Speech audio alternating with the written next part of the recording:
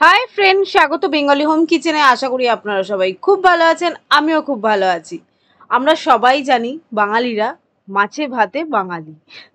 মাছ মানে ভাতের থালাতে মাছ থাকলেই মনে হয় জমে গেছে। তো সেই জন্যেই আজকে আপনাদের জন্য নিয়ে এসছি একটা সিম্পল আমার স্টাইলে মাছের রেসিপি যেটা মাছের ঝাল বলতে পারেন। তো আগের দিন একটা থালি রেসিপি আপনাদের সাথে শেয়ার করেছিলাম। যার মধ্যে এই মাছের ঝাল রেসিপিটা মানে মাছের ঝালটা ছিল, তো আপনারা আমাকে রিকোয়েস্ট করেছিলেন এই মাছের ঝালের রেসিপিটা যেন আপনাদের সাথে শেয়ার করি। তো আজকে আমি সেই রেসিপিটাই নিয়ে এসেছি। তার জন্য আমি কি কি ইনগ্রেডিয়েন্টস নিয়েছি চলুন দেখে নেওয়া যাক। তার জন্য নিয়েছি কাটাপোনা মাছ, তিন পিস কাটাপোনা মাছটাকে নুন আর হলুদ মাখিয়ে রেখে দিলাম। জাস্ট মাছটাকে ভালো করে ধুয়ে নুন, হলুদ মাখিয়ে নিতে হবে। আর বাদ বাকি যে ইনগ্রিডিয়েন্টসটা লাগবে, সেটা হচ্ছে পেঁয়াজ কুচি, রসুন কুচি, টমেটো কুচি, আর লাগবে ধনে পাতা অপশনাল আর লাগবে কাঁচা লঙ্কা। মাছটাকে ভাজার জন্য আমি এখানে কড়াই বসিয়ে দিয়েছি, কড়াইতে তেল দিয়ে দিয়েছি, দু বড় চামচ সর্ষের তেল দিয়েছি। রান্নাটা পুরো সর্ষের তেলে হবে। সর্ষের তেলটা গরম হওয়ার পর মাছগুলো দিয়ে দিতে হবে। নুন, হলুদ মাখানো মাছগুলো। দেওয়ার পর মিডিয়াম ফ্লেমে এপিট ওপিট করে হালকা ব্রাউন কালার করে ভেজে নিতে হবে। অবশ্য ভাজাটা আপনারা কীরকম পছন্দ করেন সেই অনুযায়ী ভাজবেন। কেউ হালকা মাছ ভাজা ভালোবাসে, কেউ আবার কড়া মাছ ভাজা ভালোবাসে ঝালেতে। তো সেই বুঝে আপনারা মাছটাকে ভেজে নেবেন আর মিডিয়াম ফ্লেমে ভাজবেন তাহলে মাছটা খুব সুন্দর ভাজা হয়। একটু সময় লাগে, কিন্তু ভাজাটা ভালো হয়। তো দেখতেই পাচ্ছেন, মাছটা মোটামুটি আমাদের ভাজা হয়ে গেছে। সব দিকটা সমান করে হালকা লাল করে ভাজা হয়ে গেছে। এবার মাছগুলোকে তুলে নিতে হবে। মাছগুলো ভাজা হয়ে গেছে, এবার মাছগুলোকে তুলে নিলাম একটা বাটির মধ্যে। মাছ ভাজার এই তেলেতেই আমরা গ্রেভিটা বানিয়ে নেব মানে ঝাল বানাবো। তো তার জন্য ফার্স্টে আমি তেলে দিয়ে দিলাম রসুন কুচি।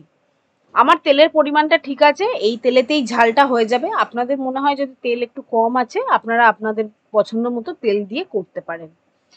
রসুনটা ফার্স্টে দেবেন, রসুনটা ফার্স্টে তেলে দিলে খুব সুন্দর একটা গন্ধ ছাড়ে। রসুনটা একটু নাড়াচাড়া করেই দিয়ে দিতে হবে পেঁয়াজটা। পেঁয়াজটা হালকা ব্রাউন কালার করে ভেজে নিতে হবে। মিডিয়াম ফ্লেমে পেঁয়াজটা ভাজবেন, তাহলে পুড়ে যাবে না, খুব সুন্দর একটা হালকা ব্রাউন কালার আসে। দেখতেই পাচ্ছেন, পেঁয়াজটা হালকা ব্রাউন কালার করে ভাজা হয়ে গেছে। এক থেকে দু মিনিট সময় লাগে হালকা ব্রাউন কালার করে ভাজতে। তো ভাজার পেঁয়াজটা যেই ভাজা হয়ে যাবে তখন দিয়ে দিতে হবে টমেটো কুচিগুলো। টমেটো কুচিগুলো পেঁয়াজ ভাজার পরই দিতে হবে, নাহলে পেঁয়াজটা ভালো করে ভাজা হয় না। টমেটোটা দিয়ে ভালো করে মিশিয়ে দিচ্ছি, আর টমেটোটা যাতে তাড়াতাড়ি গলে যায়, তাই জন্য আমি ইউজ করছি নুন। তো নুন আমি এই সময় স্বাদ মতো দিয়ে দিলাম মানে পরিমাণ মতো নুন এই সময় দিয়ে দিলাম। আপনারা নুনটা বুঝে দেবেন। নুনটা দেওয়ার পর হালকা নাড়াচাড়া করে দিচ্ছি। দিয়ে এর মধ্যে অল্প একটু জল দিয়ে দিচ্ছি, যাতে টমেটোটা খুব সুন্দরভাবে নরম হয়ে যায়। আর এই যে পেঁয়াজ, রসুন, টমেটো সব কুচি দিয়েছি, এটা একটা পেস্ট টাইপের হয়ে যাবে, কারণ এই জলের মধ্যে সেদ্ধ হয়ে। আর আপনারা যদি চান, তাহলে এর মধ্যে কুচি না ইউজ করে পেস্টও ইউজ করতে পারেন। আমি কুচি ইউজ করি সব সময় আমার তাতে মনে হয় টেস্টটা অনেক বেশি ভালো হয়। দেখতেই পাচ্ছেন মশলা থেকে তেল বেরিয়ে এসছে। মানে খুব ভালোভাবে মশলা কষানো হয়ে গেছে, টমেটো খুব সুন্দরভাবে মিশে গেছে। এরপর দিয়ে দিচ্ছি রেগুলারের কিছু মশলা, যেমন দিচ্ছি হলুদ গুঁড়ো কোয়াটার টিস্পুন ঝাল লাল লঙ্কার গুঁড়ো কোয়াটার টিস্পুন অবশ্যই আপনাদের আপনাদের টেস্ট অনুযায়ী দেবেন। আর দিয়ে দিলাম কাশ্মীরি রেড চিলি পাউডার এক টিস্পুন কাশ্মীরি রেড চিলি পাউডারটা একটু বেশি দিই জাস্ট ফর কালারের জন্য, ওটা ঝাল হয় না। আর দিয়ে ভালো করে কষিয়ে নিচ্ছি, যাতে মশলার মানে কাঁচা গন্ধটা চলে যায়। আর আমি এর মধ্যে কোনো রকম আদা, জিরে ধনে পাউডার ইউজ করি না। আমি যেভাবে করি, আপনাদের সাথে সেইভাবেই রেসিপিটা শেয়ার করছি। খুব সুন্দর খেতে হয়, অবশ্যই একবার এইভাবে বানিয়ে দেখবেন। মশলা কিন্তু খুব সুন্দরভাবে কষানো হয়ে গেছে। ঠিক এইভাবে মশলাটাকে কষিয়ে নিতে হবে। যত মশলা কষাবেন, তত কিন্তু টেস্ট ভালো হবে। আর এই মশলা কষানোর সময় অবশ্যই গ্যাসের ফ্লেমটা মিডিয়ামে রাখবেন। নাহলে মশলা পুড়ে যাবে। যখন মশলা কষানো হয়ে যাবে জল দেওয়ার আগে আমি গরম মশলাটা দিয়ে দিচ্ছি। গরম মশলা আমি সবসময় এই সময় দিই। আপনারা চাইলে লাস্টেও দিতে পারেন। তবে আমাদের লাস্টে দিলে কি হয়? গরম মশলার গন্ধই ছাড়ে বলে আমরা সবসময়, আমি সবসময় মশলা কষানোর সময় গরম মশলাটা দিয়ে দিই।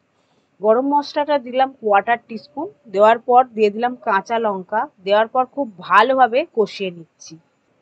দেখতেই পাচ্ছেন, মশলা কিন্তু খুব ভালোভাবে কষানো হয়ে গেছে, তেল বেরিয়ে এসছে। এবার এর মধ্যে জল অ্যাড করে দিচ্ছি। জল দিলাম প্রায় বড় কাপের এক কাপ।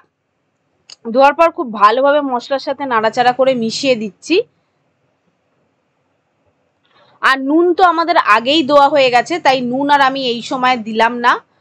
যেই জলটা এরমভাবে ফুটতে শুরু করবে, তখন এর মধ্যে দিয়ে দিতে হবে ভাজা মাছগুলো। ভাজা মাছগুলো দেওয়ার পর ভালো করে ঝোলের সাথে মিশিয়ে দিচ্ছি। মিশিয়ে দেওয়ার পর এটা মিডিয়াম ফ্লেমে ফোটাতে হবে যতক্ষণ না ঝোলটা ঘন হচ্ছে। দেখতেই পাচ্ছেন ঝোলটা আপনারা আপনাদের পছন্দ মতো রাখবেন, যতটা আপনারা ঝোল রাখার মনে করবেন। তো আমার একদম রেডি হয়ে গেছে মাছের ঝাল। আর এবার গ্যাসটা বন্ধ করে দেবো। গ্যাসটা বন্ধ করে এর ওপর ছড়িয়ে দেবো ধনে পাতা ধনে পাতাটা গ্যাস বন্ধ করে দেবেন। দিয়ে ছড়িয়ে দিয়ে নাড়াচাড়া করে মিশিয়ে দেবেন। দিয়ে এটা কিছুক্ষণ রেখে দিতে হবে এইভাবে মানে পাঁচ পাঁচ, দশ মিনিট। তারপর এটা গরম গরম ভাতের সাথে পরিবেশন করুন, জাস্ট অসাধারণ লাগে। আমার আগে থালি রেসিপিটা যদি না দেখে থাকেন, তাহলে দেখতে পারেন সেই ভিডিওটা। খুব ভালো লাগবে। আশা করি আপনাদের এই রেসিপিটাও ভালো লেগেছে। ভালো লাগলে অবশ্যই এটা লাইক করে যেতে ভুলবেন না, শেয়ার করবেন বন্ধু এবং ফ্রেন্ডসদের মাঝে। যাতে এই রেসিপিটা আরও অনেকে শিখতে পারে। আর এই ধরনের দুর্দান্ত রেসিপি পেতে গেলে অবশ্যই বেঙ্গলি হোম কিচেনকে সাবস্ক্রাইব করতে হবে আর আমাকে সাপোর্ট করতে হবে। তাহলে চলুন, আজকের মতো ভিডিওটা এখানেই শেষ করে দিচ্ছি। সবাই ভালো থাকুন, সুস্থ থাকুন, খুব তাড়াতাড়ি চলে আসব নতুন একটি রেসিপি নিয়ে। নমস্কার।